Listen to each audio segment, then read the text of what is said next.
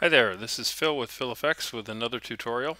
Uh, what I want to discuss today is I want to give a brief overview on uh, the uh, way of doing what parenting is in Maya and uh, give a brief example uh, I think that will demonstrate parenting very well. Uh, we're going to build a real small solar system with some planets orbiting a sun and I think it's a good way to demonstrate how parenting works with that. So let's go ahead and get started.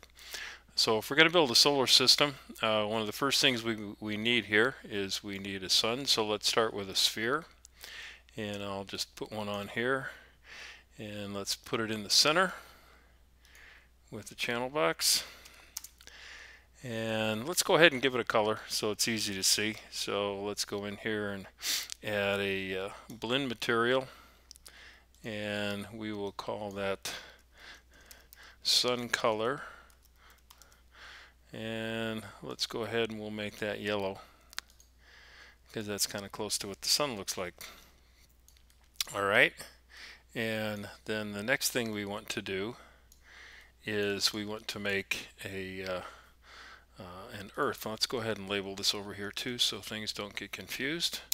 Always reinforce to my students to be sure and label your objects. Uh, so let's go in we'll create another sphere here and this will be a little bit smaller uh, this doesn't need to be to scale, uh, especially for this exercise. I'm most interested in uh, just demonstrating parenting. Uh, you can uh, certainly do something to scale later on if you want to. let's go ahead and give that a color or, or, a material. So we'll assign a new material and we'll do a Maya Blinn and we will call this earth color. Now on the earth color what I want to do is I really want to put a checkerboard on here so we can see that the earth rotates.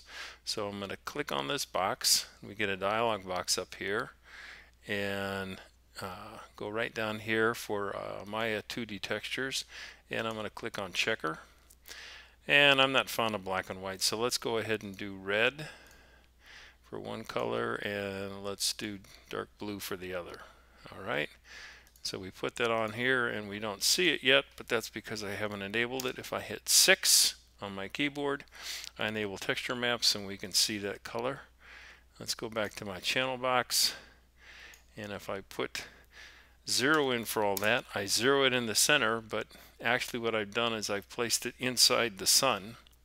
So let's do a translation on the Earth. Let's rename that. Do a translation. And to make things a little easier for this demonstration, let's go ahead and I'm going to click on the, the, the, grid up here for the magnets and for snapping. And I'm going to snap this out to about 10 in the X direction. I can turn snapping off. And so now we have the Earth out here and it's away from the Sun. Now one of the things that uh, the Earth obviously does is it rotates on its axis. Uh, again, we're not going to do things for to scale here, so I'm just going to keep the axis vertical. But uh, we've got a uh, timeline down here. We've got 120 uh, frames displayed, and actually I want to make the whole thing 120 for the whole sequence. And so we have zero here and 120 frames out here. So if we want to rotate the Earth and have the Earth spin on its axis, well, up is the y-axis, so what we would like to do is time frame 1, we set the rotation, and I right click here and I say key selected, and it's at 0. And at uh, 120, for purposes of illustration, I'm going to go ahead and we're going to spin the Earth quite a bit. So I'm going to make this value say uh, 1260. All right. So it's going to go 1260 degrees. I'll go over here and we key selected. So you can see that the Earth spins quite a bit. All right. So between zero frames and 120, we got quite a few rotations of the Earth going on there. All right. The next thing we want to do is uh, the Earth needs to go around the Sun, right? So how can we accomplish that? Well, it turns out, first off, if I just select the Earth, the pivot point, and we just demonstrated this, the center of rotation of the Earth uh, is around the center of the Earth, okay, which allowed us to be able to do a rotation around that center. Well, the movement of the Earth around the Sun, the center of rotation is the center of the Sun. Well, there's a number of different ways to accomplish this, but really the simplest way to do this is when you take an object, in this case we'll take the Earth, and we're going to make a group. But there's only one thing in that group, and that will be the Earth. So essentially I'm going to group the Earth to itself. So if we go up here to the Edit menu, go down here to Group, we've just created a group. Now look, notice what happened here. Our uh, translation gizmo is at the center of world coordinates, which also happens to be where the center of the sun is. And so now if I did a rotation, if we go here and hit E, if we do a rotation on that, notice the Earth will go around the sun because the Earth group we have over there group, uh, its center of rotation is centered at the sun. So let's go ahead and put this back to zero. And let's rename this group 1 Earth orbit. And so the Earth orbit, a rotation of the Earth orbit will rotate the Earth around the Sun. So I haven't keyframed anything yet, so let's go ahead and put a keyframe on that. So we go over here, we right click on rotation Y again of Earth orbit right click, say key selected. Let's go out here to 120 keyframes. And for this, I'm just going to go around once. So I'll say 360 degrees. And I right click again and I say key selected. So now we can see that after 120 frames, the Earth makes one rotation around the Sun. And in addition to the Earth making one rotation around the Sun, the Earth itself, as you can see, because I picked that checkerboard pattern, which is why I did that, you can see the checkerboard texture of the Earth is also rotating. So we have two movements going on, the Earth rotating on its axis and the Earth orbit rotating the entire planet Earth around the Sun. So what would a the Earth be without having a moon. So let's go ahead and we'll add a moon here. So let's put in another sphere and I'll make this guy small. Again, I'm not doing this to scale. And let's go ahead and put this in the center for the moment just so I can keep things lined up. So that's in the center and now I can't see the moon. So let's do one thing. I'll show you a trick here. If you select an object and you hit Control H on a Mac or a PC, that will hide that object. If I go select the sun again and I hit Shift H, that will go ahead and that will uh, show the object. So Control H hides it, Shift H shows it. I have to select it again, Shift H, and that will show it. Alright, so let's uh, hide the sun again so I can see the moon. And remember we snapped the Earth 10 divisions out, 10 Maya units out.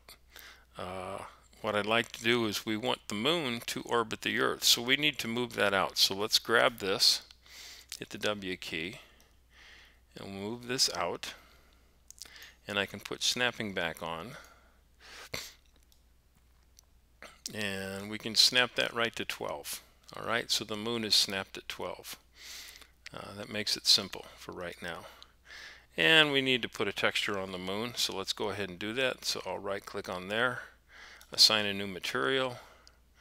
Let's go ahead and get a Blinn again. I'll go over here and call this moon color. All right. And for this, we'll do another checkerboard so we can see that it rotates. So we'll do a checker. And for this one, uh, I don't know, let's do uh, pink for one and black for the other. Uh, that's actually pretty close to the other one. So let's do pink and yellow. Well, that's enough to set your eyes on fire. Okay, so we'll do pink and yellow. All right, we can see that that's different than what we have for the Earth. And uh, now let's go ahead and do some of the same things. Let's name our planet. So that's the moon. All right. And we don't have to hide the sun anymore. So I can do a shift H and bring that back. And again, I'm not being realistic here, but let's just go ahead and we'll do some rotations of the moon on its own axis. So remember how I did that? So we select the moon and go back to our channel box. I set my uh, keyframe, I set my time back to the beginning and it'll be a rotation on the y-axis. And let's keyframe this selected and go out here. And so in 120 frames let's spin the moon 720 degrees. Uh, let's see I didn't want to do that. Take that here. I didn't have that selected, so let's go 720. All right, take that, key selected, boom. So now you can see that the moon is spinning quite a bit on its axis. So we have our first translation on the moon, and that's the moon rotates on its own axis, okay? So the next thing we need to do is the moon needs to rotate around the earth. Well, how did we do that before? Well, the way we did that before is we took the Earth and we grouped it to itself. So uh, if it worked for the Earth, it should work for the Moon. So let's go ahead and we'll take the Moon and we'll go up here to Edit and we will group it. And so now I have this group and remember we called the other group Earth orbit so this should be Moon orbit right? And if we look inside the moon orbit, we have the moon itself. And let's say we want the moon to go around the earth just once when uh, uh, we do 120 frames. So if we start here and we have a rotate y is 0, we key the selection and then we go out to the end here and we make this 360 degrees and we key that. Then we go in and lo and behold we've got a problem. And I did this on purpose and if you were catching on you probably caught why I did it on purpose. But what you can see is the moon is really not orbiting the earth. The moon is orbiting the sun. And the moon is orbiting the sun because when I grouped it to itself okay when I grouped the moon to itself, when you group an object to itself, the ori uh, the uh, the zero point for that uh, grouping, the, uh, the pivot point, that's what I'm trying to say, the pivot point for that object, when you group it to itself, always goes to the 0, 0, 0 of world axis. And that's what happened. So it put it in the center. When in fact, the since the Earth is orbiting the moon, we really want this pivot point for the moon orbit to be at the center of the Earth. Well, how can we accomplish that? Well, the easiest way to do that is let's go over here to our quad view, and I have top, front, and side. Let's look at this front view, and I'm going to go ahead and hit 4 so we just see an outline. And so here's the pivot for the uh, moon orbit, and we show it centered in the sun. What we'd like to do is put it in the center of the earth. This is why initially I went in and I had things snapped to grid because it just makes things a little bit easier. And I know that the uh, exact center of the uh, Earth is at snapped at 10, so I'm going to say snap to grid. And here I go in and on a Mac, if you've got a full Mac keyboard, if you hit the home keyboard, home key, or on a PC, if you hit insert, notice how this changed. Okay, what I'm going to do is I'm going to translate that pivot point. So I translate the pivot point for the moon and I put it to the center of the earth. I hit insert or the home key again and this goes back. Now we can hit 6 so we can see our textured surfaces. Hit spacebar, go back to my quad view. Put my mouse over the perspective view, hit spacebar again. Now if we move this through, we can see that the moon does in fact orbit the Earth, but obviously we have another problem. What's going on here? Well, the moon is not moving with the Earth. Why is that? Well, because of parenting, the moon at the moment is just by itself. So the movement of the Earth orbit and or the Earth itself is not being translated to the moon. So what do we need to do? Well, I can take this and I can parent the moon orbit. So here's the uh, trick question. Do we parent the moon orbit to the Earth or do we parent the moon uh, orbit to the Earth orbit? Well, the correct thing is we parent it to the uh, Earth orbit. We do that. Now,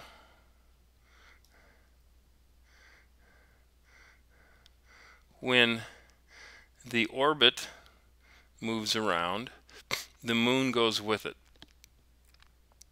All right.